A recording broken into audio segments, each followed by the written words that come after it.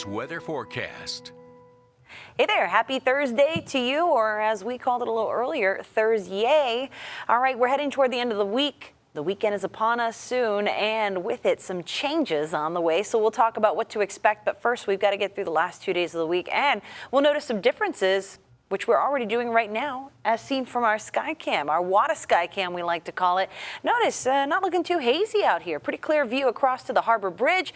A few clouds out there in the sky, but overall, a pretty tranquil morning here. 620 your time right now, and taking a look at temperatures across the coastal bend. Yeah, still chilly, but we're slowly seeing a warm up across the coastal bend, and that will be more apparent during the next couple of afternoons when we really feel pretty hot, especially with more humidity. So a lot to unpack here. We'll start out with the cooler temperatures inland 50 right now in Beeville, 52 for George West, 55 for Orange Grove, 55 in, or 56, I should say, in Alice, 57 in Robstown. We eventually warm up as you make your way closer to the coast. Those Gulf of Mexico waters really do a good job of insulating temperatures, where it's 65 for both NAS Corpus Christi and and Port A at this hour. But heading through the next couple of hours, one thing you'll really notice today we got a little breezier on Wednesday. Okay.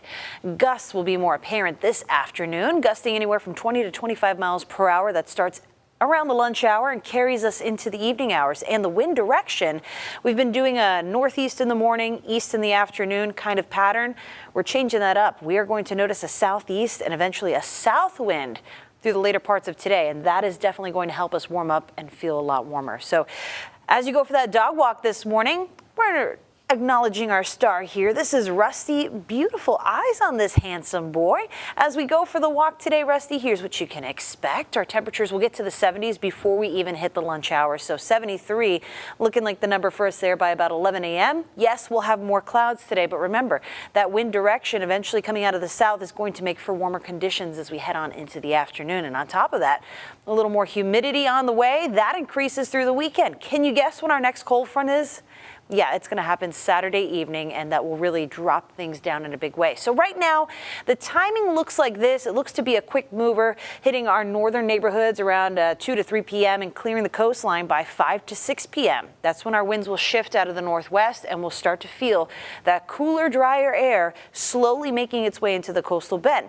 Now, rain chances have not looked good with this front. They still don't, but they're getting a little bit better. I'm not going to hold my breath on that, but we've got better rain chances coming for the middle part of next week, so that's good news, especially as our rainfall deficit, it's on its way to three inches behind for the year, so we could really use some rainfall. But big temperature changes are on the way. Saturday afternoon, highs in those middle 80s.